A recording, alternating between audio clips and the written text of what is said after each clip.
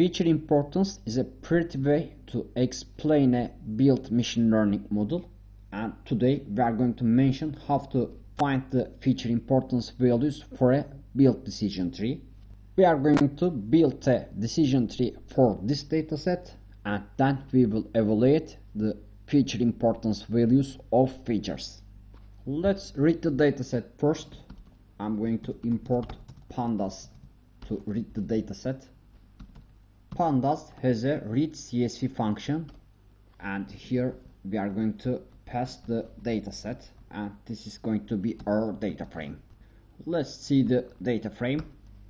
There are 14 instances and it stores golf playing decision based on some features outlook temperature humidity and wind i'm going to build decision trees with chefboost framework uh, you can import it from chefboost import chefboost and i'm going to define its alias as chef.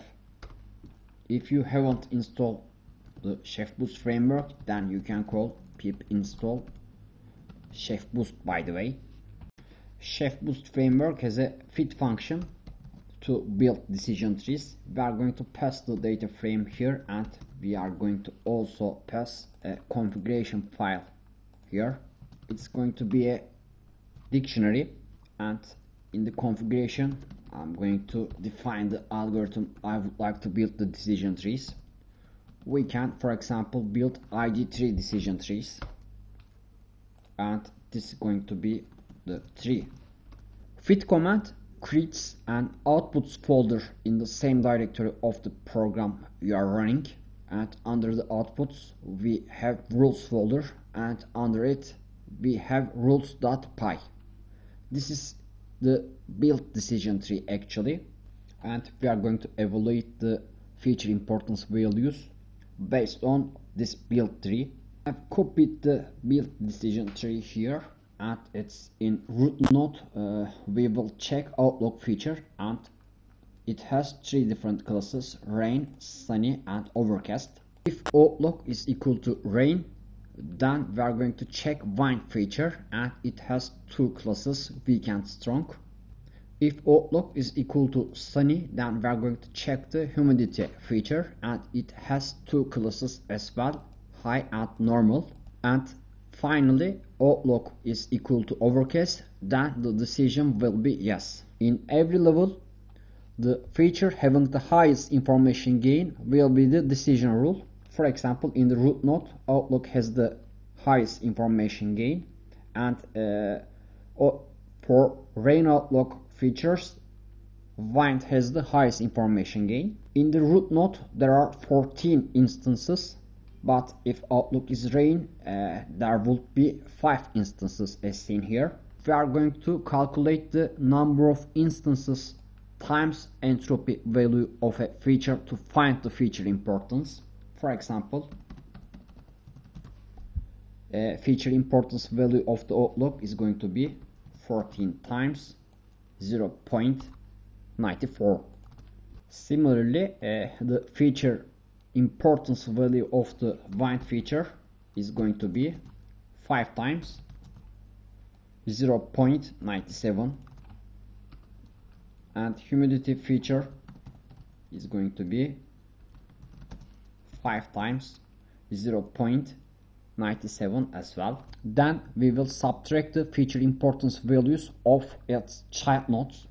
Here, uh, wind and humidity uh, decision rules uh, don't have any child nodes. Uh, they directly returns to decisions as seen here. However, Outlook feature has uh, wind feature and humidity feature decision rules as its child node. That's why we are going to subtract its number of instance times entropy values that's going to be the feature importance values of each feature. Let's see the results. By the way uh, as seen there is no decision rule for the temperature. That's why I'm going to initialize it as 0 and here we are going to print the feature importance value of the temperature feature. Those are the uh, feature importance values as seen uh, the wind and humidity uh, has same score and uh, they are greater than the outlook. We can actually normalize those values. Total value is going to be the sum of those feature importance values. And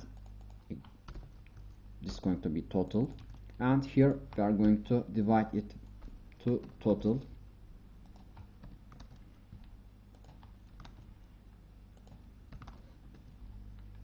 and actually we should multiply them to 100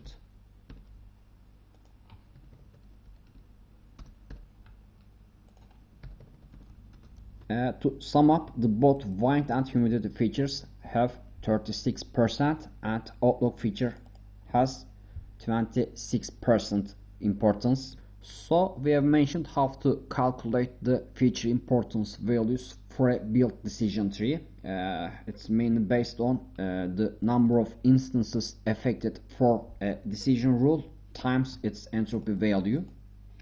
Thank you all for watching and see you next time.